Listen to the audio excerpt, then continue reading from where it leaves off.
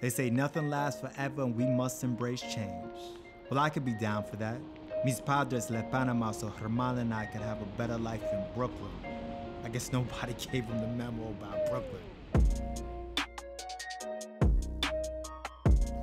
Yes. Uh, es El Negro. And I've been patiently waiting to introduce myself. That he wasn't a bad person. He was just down on his luck. So you two know each other, huh? We play racquetball from hmm. time to time. You're a fucking perro. Who is she, huh? Let's go, come on. Yeah. Possessions, people.